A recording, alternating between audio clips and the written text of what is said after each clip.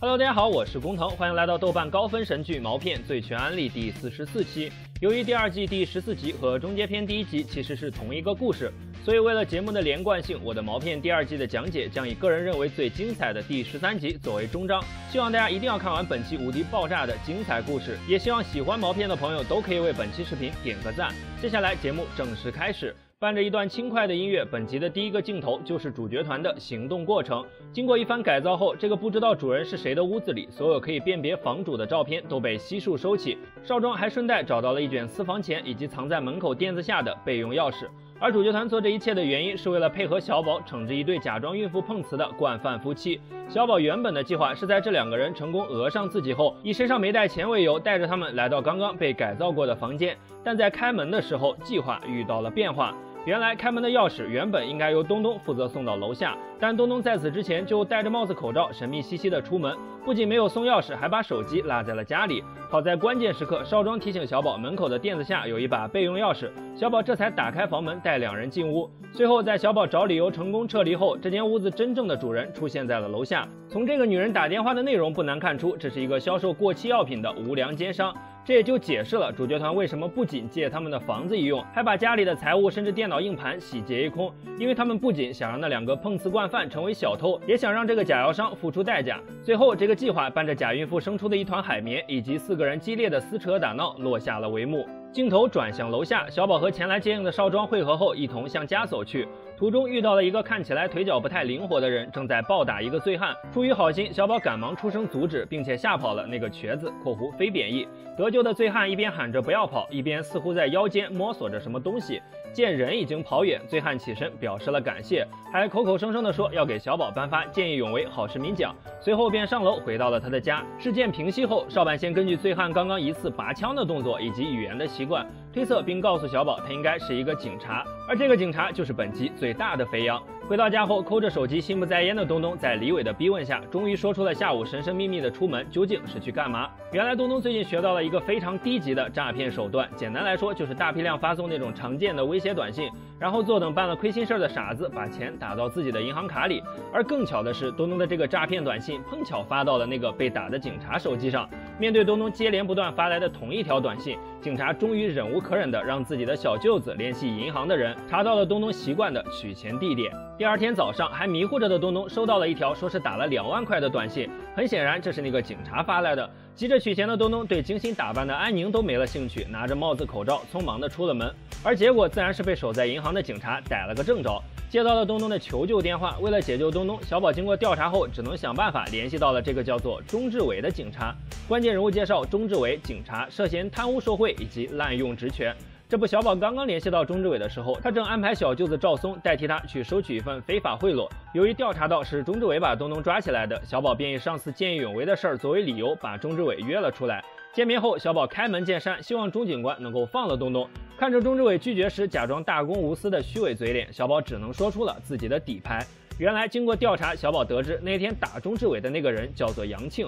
五年前，因为卷入一宗重大的入室盗窃案而被钟志伟抓捕，所以最近出狱后才对钟志伟实施了报复。由于最近的政策比较严，钟志伟虽然之前已经从赵松那儿得到了杨庆出狱的信息，但是没有证据，也不能随便抓人。所以小宝就是抓住这个机会，告诉钟志伟自己能帮他搞到杨庆最近的犯罪证据，这样他就可以直接派人去抓，以绝后患。经过一番纠缠和商讨后，小宝以五天之内完成任务为代价，把东东救了出来。回到家后，看着面露歉意的东东，生气的小宝狠狠地把他数落了一通，字字句句都在指责东东的贪心和没脑子给团队带来的麻烦，并且表示杨庆的事情没有那么简单。而东东这辈子第一次被抓，本来就很郁闷，小宝一句比一句难听的指责，让他的情绪也爆发了起来。最后在放出了一人做事一人当的狠话后，东东便摔门而出，离开了团队。很显然，除了主角团，也没什么真朋友的东东，唯一的选择就是去找甜甜喝闷酒。谈话间，我们才知道，原来过几天就是东东的生日。但谁成想会遇到这样的糟心事儿？到了深夜，拖着烂醉如泥的邢胖胖，甜甜这个小身板好不容易才回到自己家。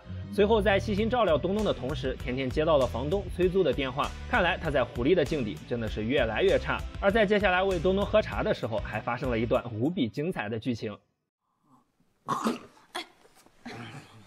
我。啊？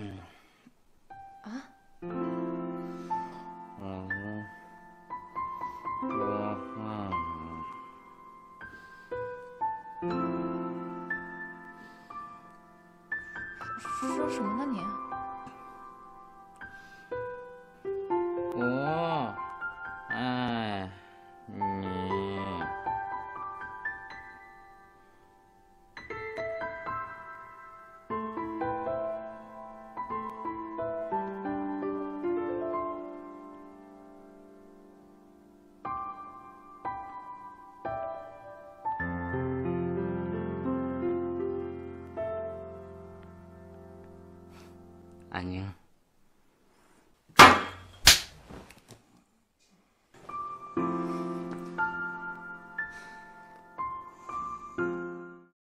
第二天一早，喝到断片的东东醒来后，摸着自己依然有些火辣的左脸，问昨天发生了啥。甜甜不好意思地说：“你昨晚不小心撞到了门上。”慌乱的动作难以掩饰害羞的心情。就在这时，放心不下的李伟出现在了甜甜家门口，并向东东解释了小宝为什么说杨庆的事情没那么简单。原来当年杨庆入狱，其实是由于负责案件的警察钟志伟急于立功，用了一些手段让他认罪。服刑期间，杨庆的母亲由于伤心过度而去世，妻子也带着孩子改嫁。加上在狱中废掉了自己的右腿，杨庆出狱后连吃饭都成了问题。被逼无奈的他，只能靠着自己开锁的技能，偷一些豪车里的东西去卖，然后根据医书给自己剧痛的右腿开一些廉价的中药方子。偷窃固然不对，但杨庆的遭遇也着实让人感到唏嘘。所以说，想搞到杨庆的犯罪证据其实不难，重点是东东能不能下得了这个狠心。面对这样的两难境地，倔脾气的东东还是不愿意和小宝和解，而是希望能和甜甜、李伟一起在五天内想到一个两全其美的办法。但是在接下来的三天里，东东不管是学习小宝抽烟的习惯，还是模仿少庄的姿势，都没能想出哪怕一丝破局的妙招。百无聊赖的李伟在纸上画起了信号屏蔽器的设计图，而甜甜也没能提出什么建设性的意见。终于在第四天，李伟突然说道：“如果我们能出其不意地搞到钟志伟的犯罪证据，就可以要挟他，然后扭转局势。考虑到钟志伟每天都拿着一个公文包，也许里边会有关键证据。但是由于钟志伟认识东东，甜甜、李伟又没有偷窃的技能，所以最后只能请我们的包哥出马（括弧包哥无敌精彩的戏份可以在 P 三观看）。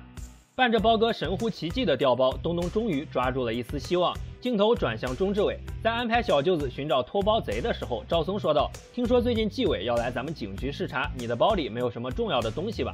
钟志伟回答说：“也就是一些需要报销的票据。”而事实证明，这句对赵松说的话只对了一半，因为包里的那些票据确实没什么价值，但除此之外还有一个 U 盘。回到家后，李伟打开 U 盘查看，但没有发现任何有价值的信息。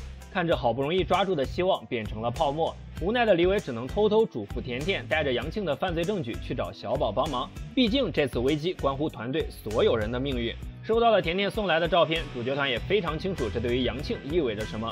这时少庄讲起了经典的失控火车两难抉择：是任由火车撞向轨道前的五个孩子，还是更换轨道撞死一个无辜的工人？